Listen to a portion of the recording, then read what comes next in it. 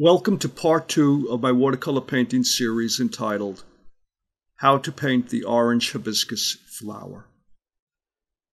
I'm working a mixture of ultramarine blue with Winsor yellow into the colors that I just applied and are still wet.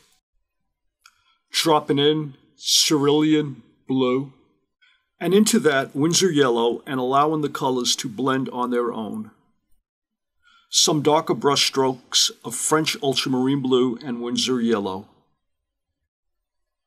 I'm flowing cerulean blue into dampened paper. I place the cerulean blue where I see it on the leaf in the photo. Now I'm working in a light mixed green into the still wet cerulean blue. Yeah, I'll get some of this beautiful color along the edge. Good. Yeah. It's in time to buy another Series 7. Oh man, okay. Now, these are just the first wash applications. I'm going to continue to work into them, as well as continue to work into all of this. The bud itself has a lot of cerulean highlights, so I'm going to float in cerulean as my base color. Into the blue wash, I'm brushing in a darker mixture of cobalt blue and Winsor yellow.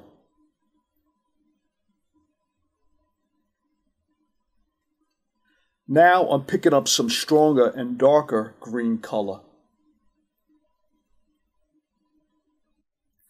Laying down some cerulean blue, then quickly working in my mixed greens so they intermix.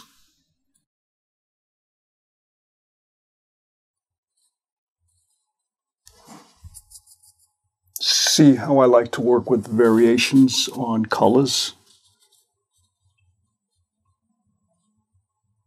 So I have separate bins of variations on my green, and I interflow them to create a rich variety of color interactions. Gonna leave it alone, let the colors spread and mix on their own. I've already applied a wash of cerulean blue to this leaf. Now I'm washing in a mixture of darker green that is a combination of ultramarine blue and Winsor yellow. I'm not blending the blue and the green into one another.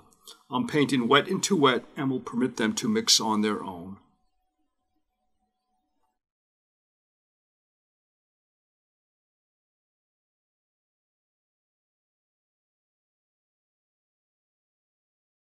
Now I'm working in a darker green. I created the darker green by adding more ultramarine blue to my original mixture of ultramarine blue and Winsor yellow. Because I have a range of wonderful combinations of mixed greens, I'm working around the surface of the painting's foliage areas and applying the greens to wherever they are needed. All color combinations are applied wet into wet.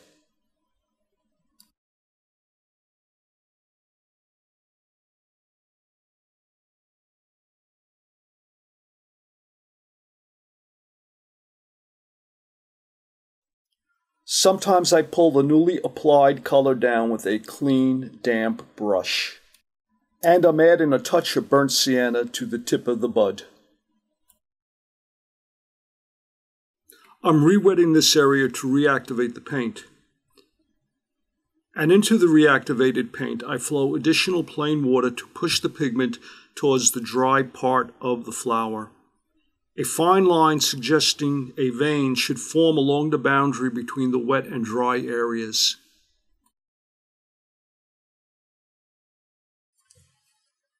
Ultramarine blue and Winsor yellow makes a nice deep green.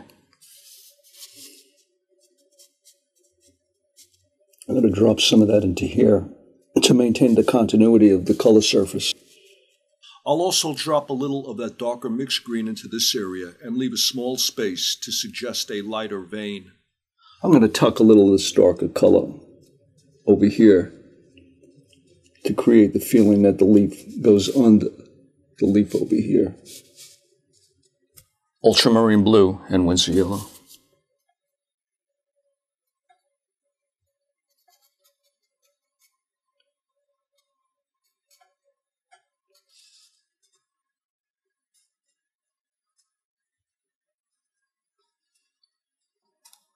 I'm using a light wash of the the French ultramarine blue and the Winsor yellow to continue on this side. And I'm going to allow some of that cerulean blue to poke through. I'm thinking that'll contribute to a wet look in this area. So I move back and forth from my lighter green to my darker greens.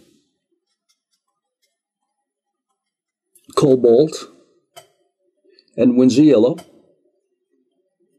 Winsor yellow with ultramarine blue for my darker.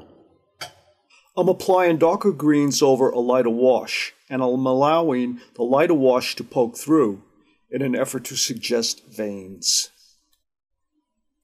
The lighter green wash was applied much earlier in the painting process and allowed to dry completely.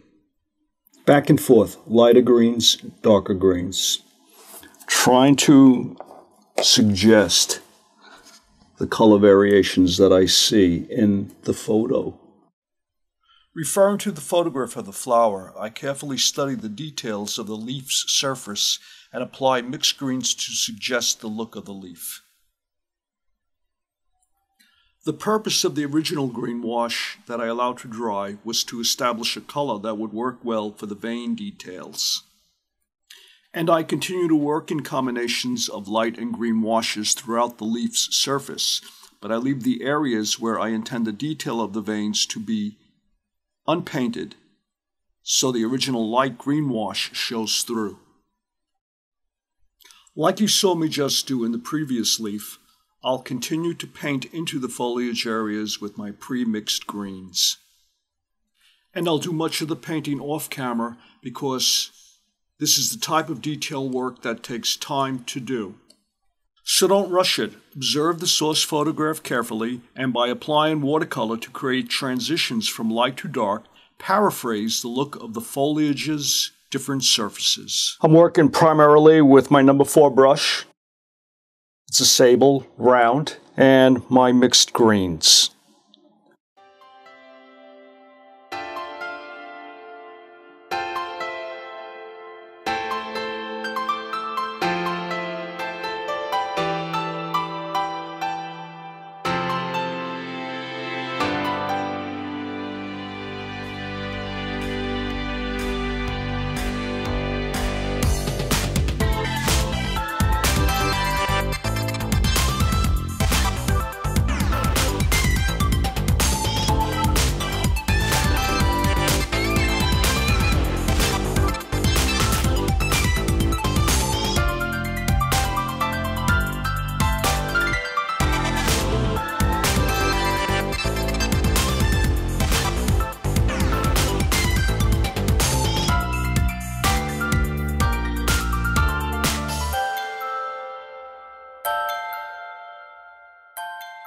Now it's time to paint in the style. I'm going to start with a fairly strong Winsor red.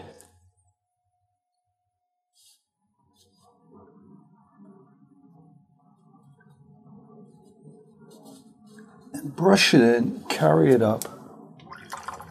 Work into Winsor yellow. And carry that up right to the tip. I'm going to carry some Winsor yellow down back into the style. And I'm going to leave that alone. I'm going to let that bleed. I want it to intermingle with the Winsor red. Next, some of that quinacridone magenta with the cobalt blue mixture. Right down here. Yeah. And I'm going to allow everything to just do its own thing. I do want to add a little bit of a red dot in that area.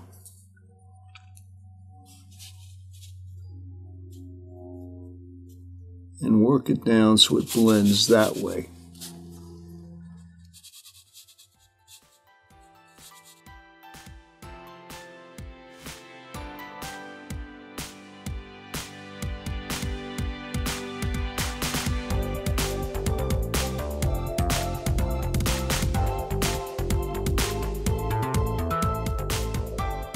Yellow ochre at the tip.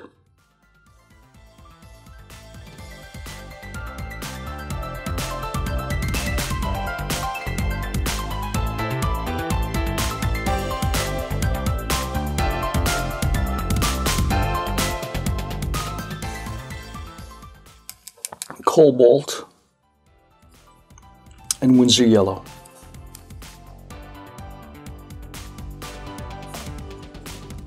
Ultramarine, and I'm digging into the ultramarine there.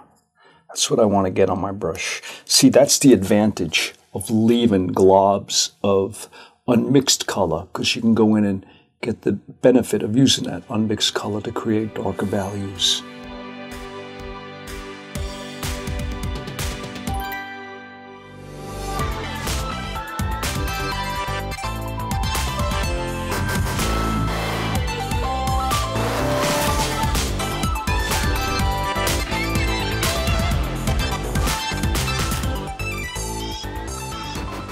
I gradually work into areas that I like to darken, like you see me. And I dance around with my brush, not using the tip, believe it or not. It may look like I'm using the tip, but I'm not. I always hold my brush on a slight angle to avoid pressing the tip into the paper. The paper is abrasive and will blunt the tip of the sable paintbrush, and the brush will no longer be able to be brought to a fine point.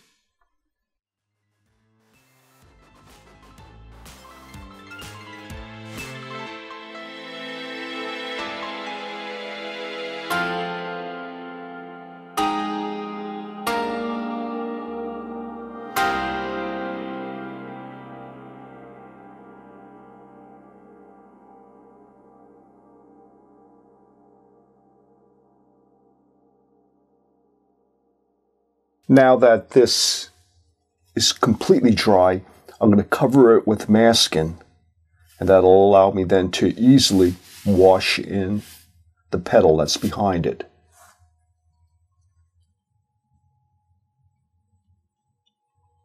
This is nice.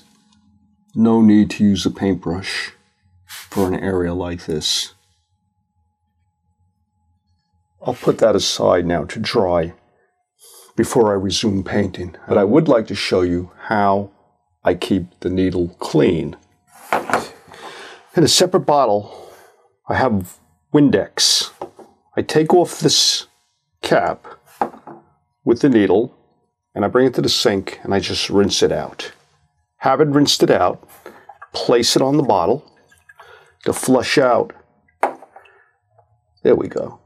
See, there's quite a bit of uh, masking in there, and that would definitely dry and clog the tip. So the only effective way is to squirt clean water or Windex through it, and that, that'll clean it out. I always rinse off the cap that I seal this with too, because it has an accumulation of masking in there that tends to dry and clump up like you see over here.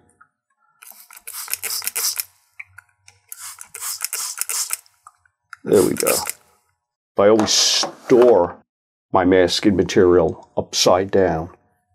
And every so often I gently go like that so it's mixed well.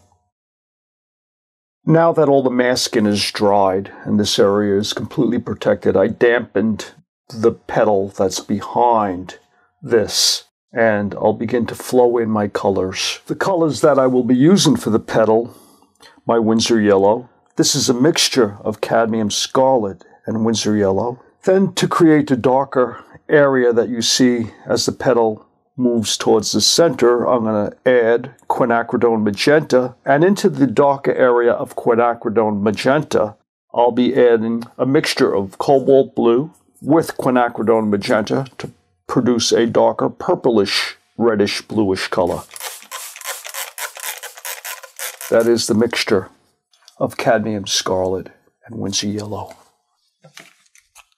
And I'm applying that mixture of cadmium scarlet and Winsor yellow, which produces a beautiful orange, to the dampened petal section. Using a clean, dampened brush to create the highlight on this side. And I would like to go back into what I see as a darker area right over here. Pull that into the dampened area. And the key is don't blend on the paper. Allow all blending to occur naturally through the intermixing of watercolor on its own. Some quinacridone magenta. The orange that I just applied is still very wet, and now I'm flowing in quinacridone magenta. Into the quinacridone magenta, I'm adding the deeper violet color that you see in the center of the flower. Try to follow the direction of the veins that I see in the petal. I don't blend the color with my brush. I drag the color across quickly. I let it bleed on its own. I'm going to permit this to start to dry just a little bit. And when it hits the right moisture level, then I'm going to splatter a little bit of water into it to cause that motley look on the surface. Meanwhile, let's go over here. This part of the leaf is slightly darker than the surrounding area. I'm going to take my cobalt blue and Winsor yellow and work it in.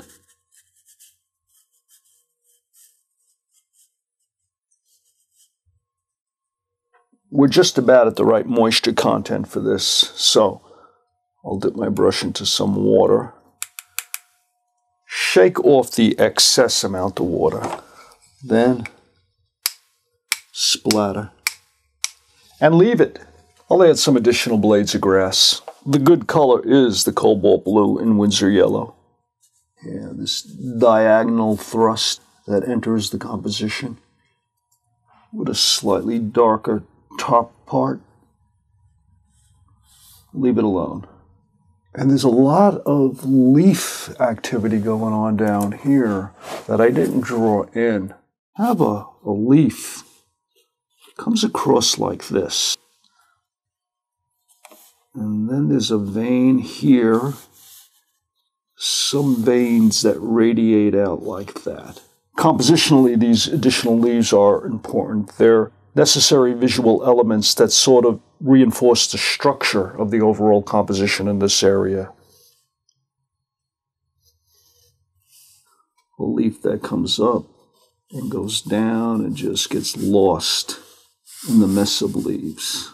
Okay, I'll take my kneaded eraser now that I've done all that. Just lightly go over my line work, not to erase it, to lighten it up and break it up a bit. I'll continue to develop these newly added leaves using the same techniques that you have already watched me demonstrate.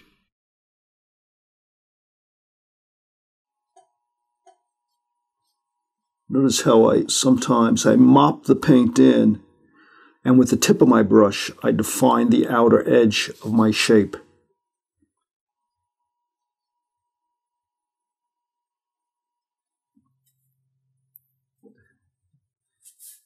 This leaf seems to go into a shadow.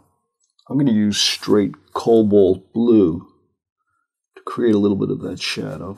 Now pull it in with a slightly dampened brush and let it dry. Now I'm going to begin to transform this bluish area into a droplet. In the photo, I see it's, it's picking up an edge of dark green so I'll begin to work that in. This is where I do use the tip because I need to get a relatively fine pointed line, and there really isn't any other way to do that. The water droplets usually have bright highlights in them, in addition to the sharp lines. Now I'm picking up a light wash of mixed green, and I'll apply it to this water droplet. Have to let that dry now.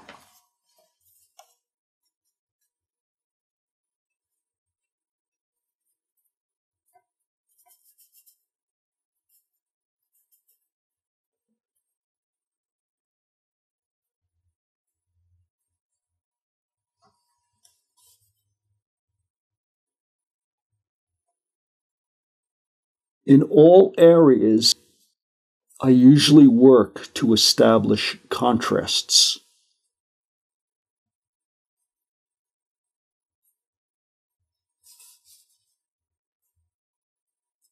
Returning to this droplet, the line is sharp here and soft here.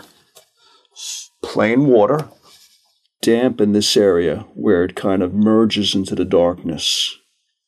Get some fairly strong color, but I'm going to place that deeper green into the dampened area so it will bleed.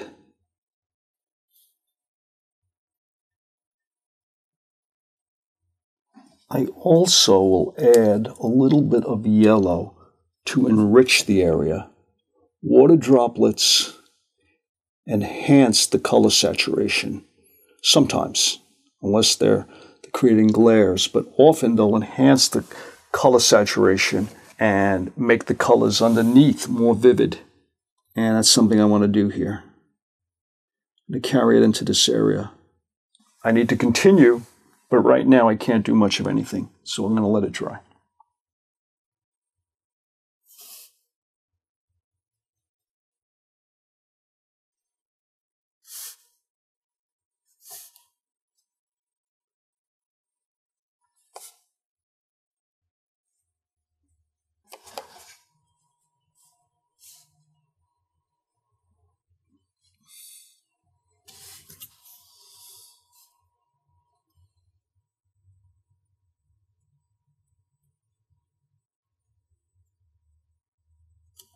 Quite a bit of work remains to be done.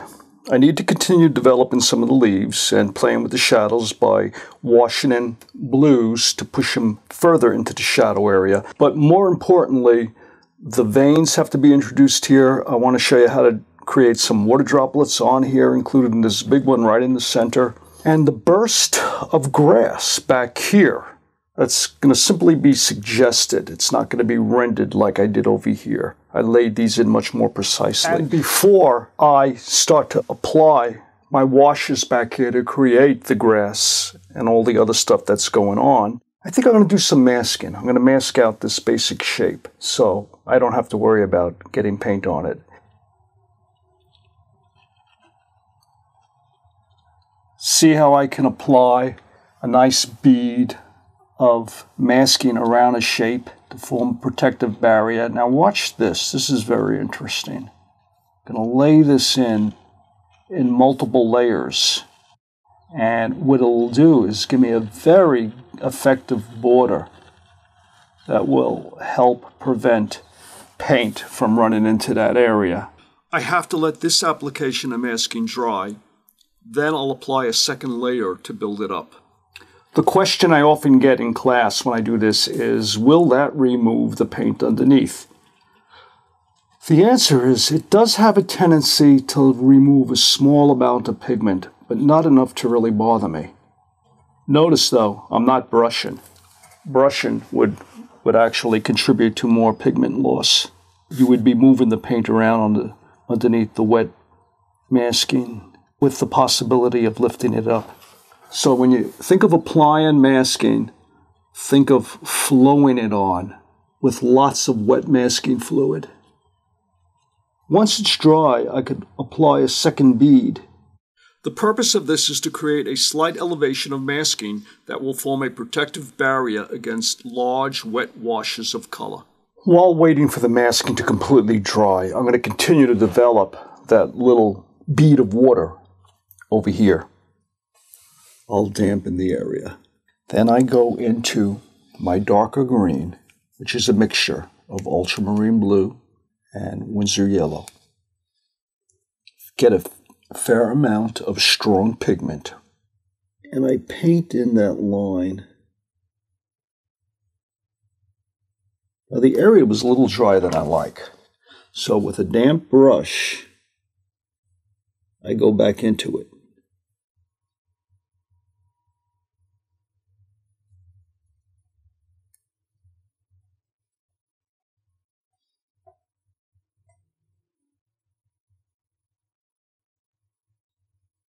Just dancing around, adding green where I need to add it. Picking up my darkest green. I'm going to begin to wash that in.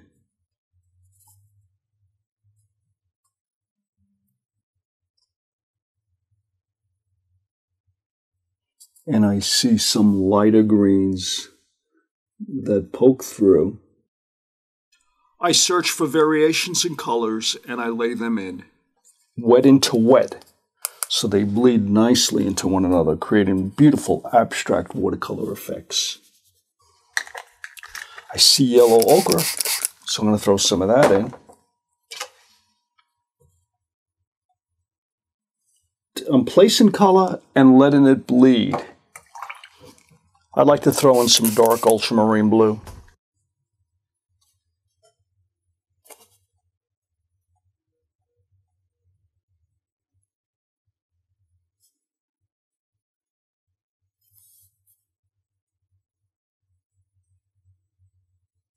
Now, I have enough confidence that the watercolor knows what to do, so I'm going to leave it alone. I actually see quite a bit of cerulean here too, so I'm going to dampen it with a little bit of cerulean, watered down cerulean.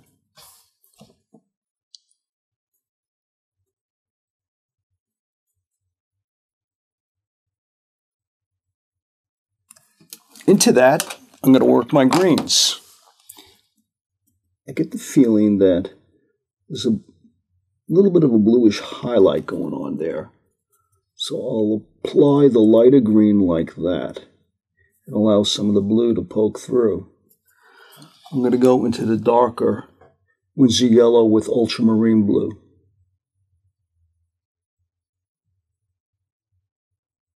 I painted this water droplet in and I'm absolutely not happy with it. What happened is there was a very dark area in the petal that the outer edge of the droplet merged with, resulted in a distorted look. So I'm going to do some corrective painting here. I'm going to lift out the color in this area and redefine the shape of this glob of water that's going to be here. Sometimes things just don't work out. I'm going to use an acrylic paintbrush. It's slightly stiffer than my watercolor paintbrushes. And I'm dampening it with a little water. So the first thing I'm going to do. You have reached the end of part two on how to paint the orange hibiscus flower. Please watch part three for the continuation and conclusion of this watercolor painting series. Thanks for watching part two of the series.